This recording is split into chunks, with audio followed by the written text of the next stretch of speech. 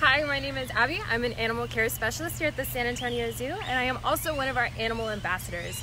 So what that means is I am part of a team that works very closely with several animal species ranging from our biggest Burmese pythons to our smallest uh, emperor scorpions. And we're able to take those animals out into the public and do really awesome events such as outreach, school events, and things of that nature. So we are able to take those animals out and they're not always available on exhibit for the public to see. So we have a really awesome um, Facebook Live event for you guys today. We're gonna give you guys a chance to be able to see some of our awesome ambassadors. Since you guys can't come to us, we're gonna come to you guys. So this is Jean. Now Jean is our blue tongue skink and she's absolutely gorgeous. So blue tongue skinks are gonna be Australia natives and they are going to be um, eaters of quite a bunch of different uh, variety of things. These guys will eat insects, uh, flowers. These guys uh, are very well known for that uh, blue tongue skink as they are named for that blue, blue tongue.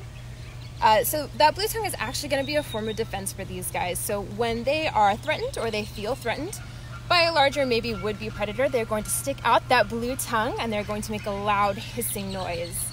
And that usually wards off anything that might consider these guys a tasty snack. So these guys uh, have scales that are going to be made out of keratin, so very similar to what makes up our fingernails and our hair as well. So for the, those of you at home who don't get the chance to touch Jean today, you can go ahead and touch the backs of your fingernails and know exactly what she feels like.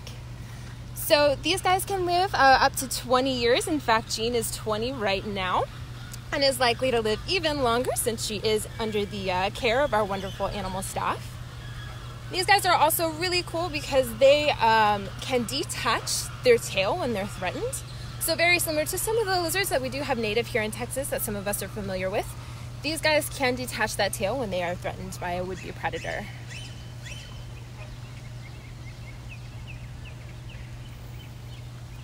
Alrighty, so if we can move on to our next animal ambassador. This is Twig, and Twig is our eastern screech owl. So I don't know if you guys got the chance to see our social media post earlier about our eastern screech owl, but now you guys have the chance to see him now live and in person. So these guys are native to Texas. You can find them here in your backyard, but you do have to look really, really closely for them. They are going to be nocturnal, so they do spend most of the day asleep, and they're going to be up and awake and hunting at night. So while he is asleep during the day, he's going to stay really well camouflaged with those really, really pretty feathers. Now he's going to hang out in really tall trees, usually holes in trees as well, and those camouflage feathers are going to keep him well hidden from any other birds or any other would-be predators that might consider him a tasty snack during the day. And at night is when he is going to come out to hunt. Now Twig also eats a variety of things. He's also going to eat insects as well, but some of his favorite things are going to be smaller rodents such as mice. Now Twig is going to be excellent for hunting. He is built to hunt despite being incredibly cute. He is well adapted to hunting at night. So he's got those really, really big eyes up there. If he turns his head, there he is.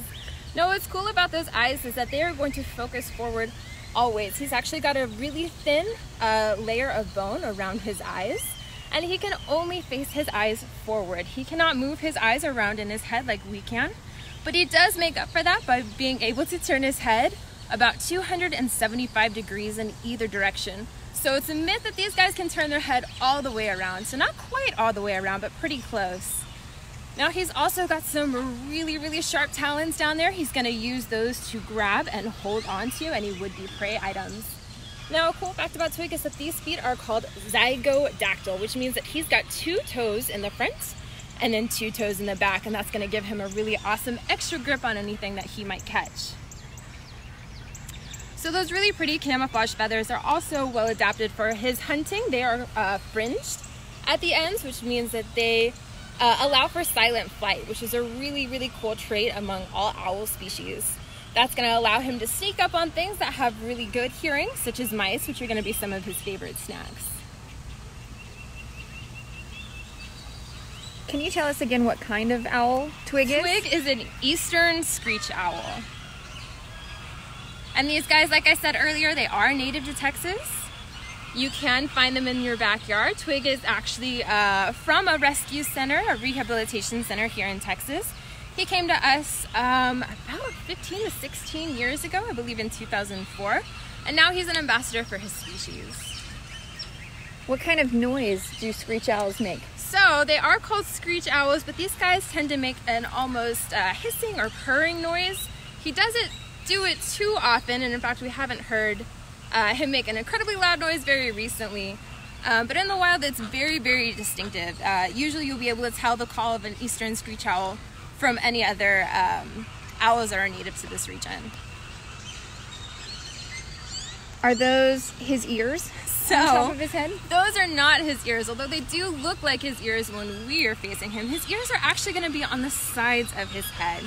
So it'd be kind of hard for me to point out, but they're going to be down here. And in fact, on the other side, it's likely that his ear is not at the same level. It's either going to be higher or lower on the other side. Also, a very common trait in owls, it helps better triangulate or better allow for them to find or hear their prey at night.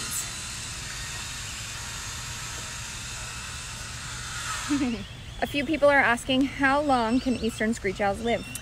Uh, so usually in the wild, it's going to be anywhere from maybe 10 to even 15 years.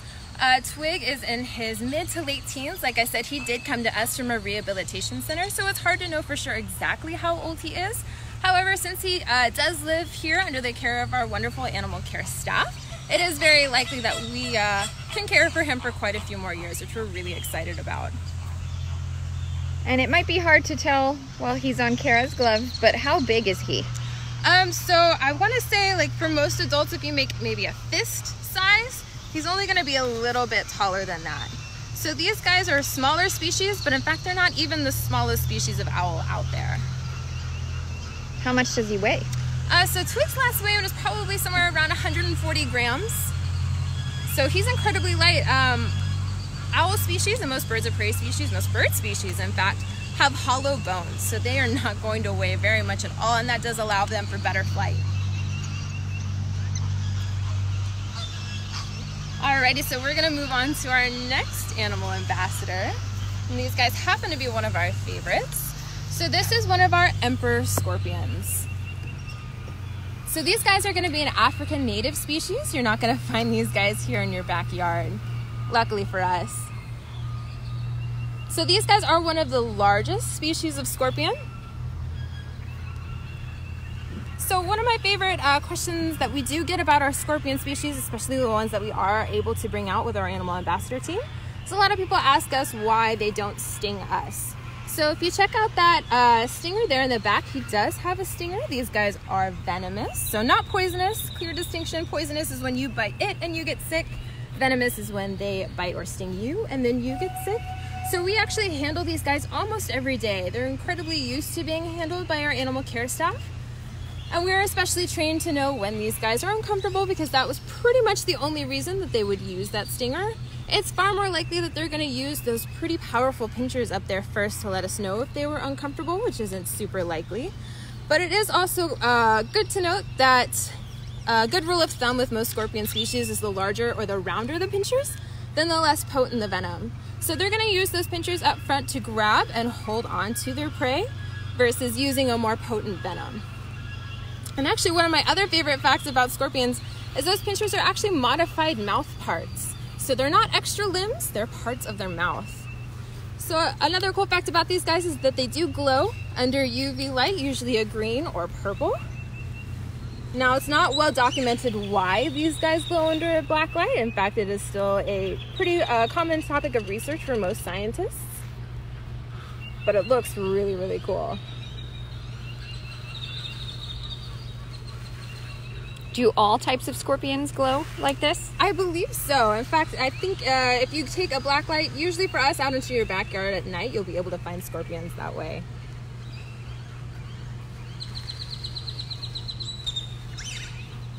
Why is he so hairy? Why is he so hairy? So he uses those bristles to help sense his environment. Usually it's going to be things that walk by him or walk close to him that he's going to be able to reach out and grab and then hopefully eat.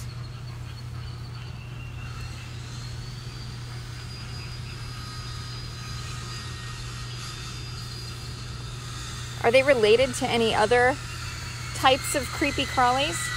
Um, so these guys are uh, not considered insects. They're going to be arthropods. So they're going to be in that same family. They're going to be related to uh, other things that have about eight legs. So I'm sure a couple of you can guess what that is gonna be.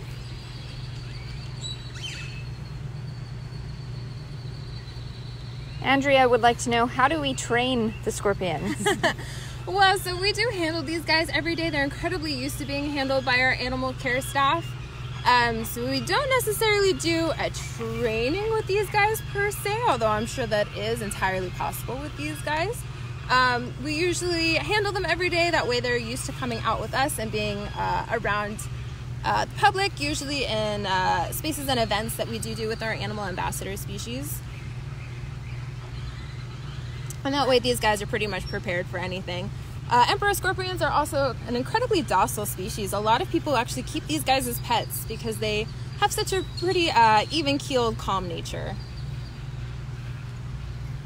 What do we feed them here at the zoo? What do we feed them? So these guys like crickets, and that's going to be some of their favorite things to eat. They'll usually get about two or three crickets about once a week.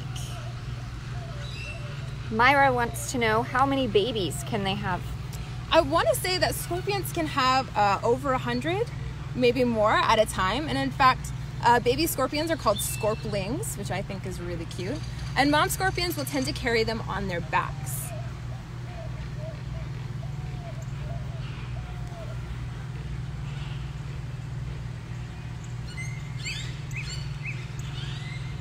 Do these scorpions ever hibernate? Uh, so we don't actually do a hibernation with these guys. These guys are pretty active all year round. And that makes it really easy for us as the animal ambassador team. That way we are able to get them out year round so that uh, everybody gets the chance to see them. We always like to bring these guys out to events with us. Um, it's always really important to talk about how important they are to the environment.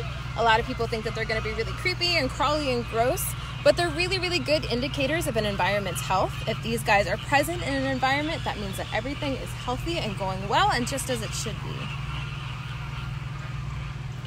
Can you tell everyone one more time what type of scorpion this is? Sure, these guys are emperor scorpions. They are African native, so you are not going to find these guys in your backyard. You probably will find other Texas native scorpions, which are going to be cousins to these guys. Does this one have a name? Uh, Drogo.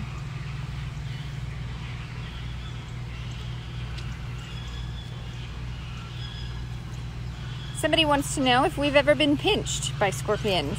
Uh, a few of us have, but it's not incredibly hard. They usually let us know when they're not super into being handled at the moment, which again, our animal care staff is uh, trained to understand the body language of these guys and to know whether or not they're even interested in being handled that day, because of course we don't want to force them to do anything that they're not into that day.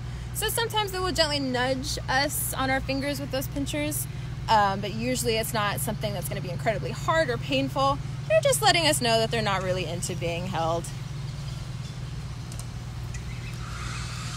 How big is he? Can we show just a size comparison? Um, maybe a iPhone comparison. Oh, there we go. Yeah, about the size of an iPhone 8.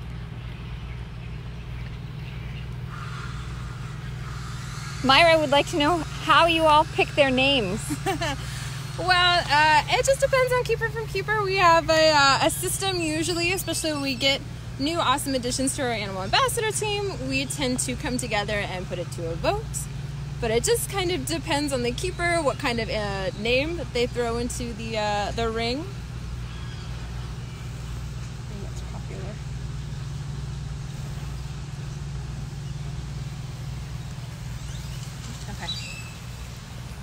Alrighty guys, well thank you for joining us today on our Animal Ambassador Talk.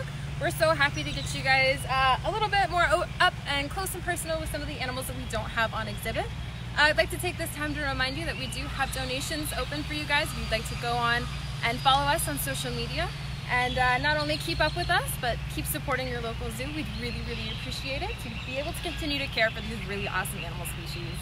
Thank you guys so much for coming out today.